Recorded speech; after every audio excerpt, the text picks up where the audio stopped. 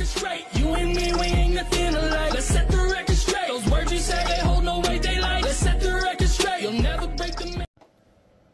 Hello everyone and welcome back to another Diecast review. This one is pretty special because this thing was a SOB to get, I guess you could say.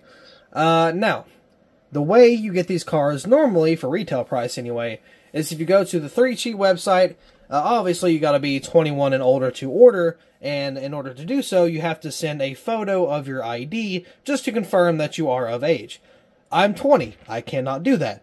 So I had to resort to eBay and give in to any scalper I saw, but I tried to go the cheap, the cheapest, the cheapest one I could find, which was actually uh, two in one. It was a uh, race win of both wins, or it was a pack of both wins, uh, selling for like I don't know forty something maybe. So I figured instead of paying shipping on two different cars, I just get you know the one that he was selling for, uh, you know both of them in one box or one package, I guess, in order to just kind of get better shipping or cheaper shipping, I guess, and actually just kind of get them at once. That way, I wouldn't really have to worry about anything. And he had a good rating, so I wasn't really too worried about being scammed or anything. Uh, so yeah, that, that's how I was able to get this car. And if you are underage, like you know your boy here, uh, you probably have to do the same thing. So this was not sold from Lionel. It wasn't sold from Circle B. Was not sold from K State. Nobody. Meaning this is a promo. This is a promotional diecast. Now I don't really get promos often, uh, just because you have to go to the website. I'm not really. I don't know. I couldn't really care. But this is different. This is a Tyler Reddick, and it was a win, mind you, and it was the only way you can get the wins. I'm trying to collect every waste uh, waste win, every race win car that I can. Uh, so I made a little bit more of an effort in order to get this car. This specifically is the Indy Road Course race win. So I think that was was that wasn't the first one, was it? I think that was. I think the Road America was the first one, and the Indy Road Course was the second one. I'm not too sure. Easily, it's a 50-50 shot. I could easily mix it up. Uh, but either way, I also don't think they made the metal chassis edition because it was a promo. So I'm not really uh, too sure on that. But nonetheless, we're going to pop this bad boy out of the box and take a closer look at this beautiful car uh, because I really like the paint scheme. It is unfortunate how he had to win in the same paint scheme twice, and it's a dark car, so it's kind of hard to see the race detail, but nonetheless, it's still a cool race win. Here's the diecast out of the box, and you guessed it, it is on a base for obvious reasons.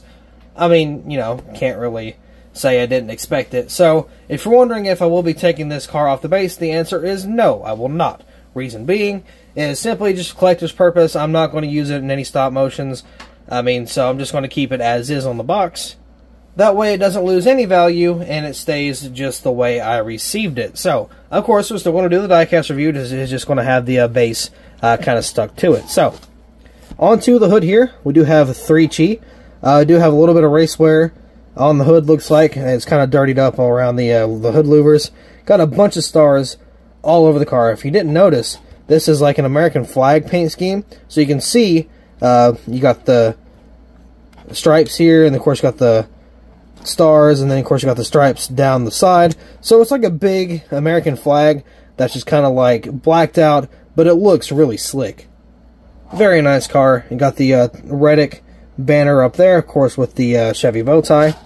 Then you got the uh, number 8, 3chi.com. We do have a little bit of racewear on the number 8 here. It is going to be hard to see racewear, but hopefully we can see a little more.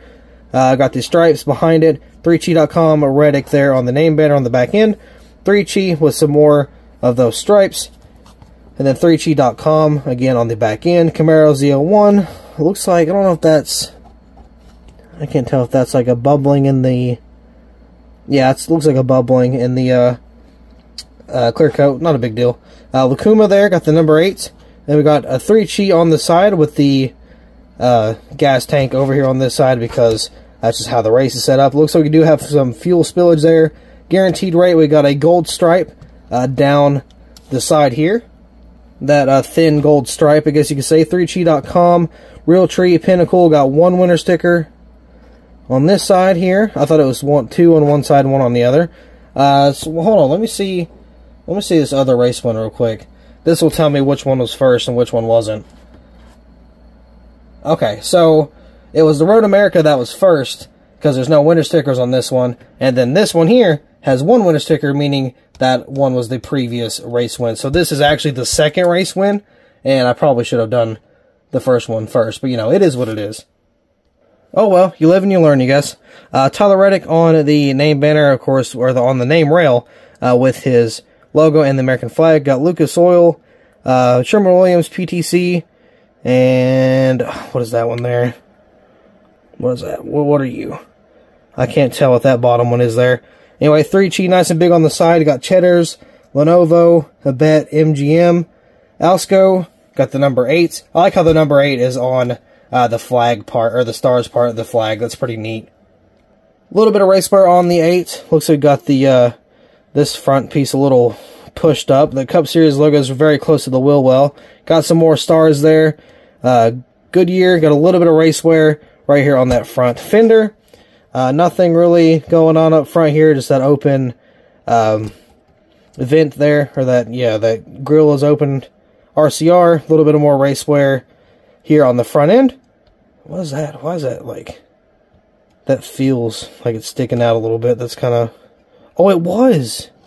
What? Look at that. It's like, huh, it's like a wrinkle right there. Interesting. Anyway, I got some more race wear here. I could probably clean that out with my X-Acto knife. Let's go ahead and take care of that. That way we don't have to really worry about it. We can just kind of take it out. There we go. That's, that should that should do it. Yeah, we got the number 8 there once again. We do have a donut mark down on that uh, side skirt. They got a little bit more race wear around the winder.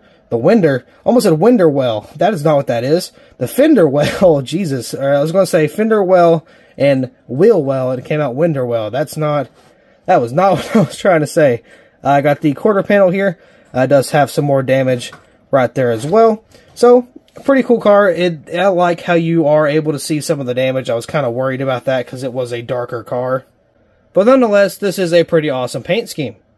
So this one was a hard one to pick up, but luckily, uh, again, I did get it on eBay.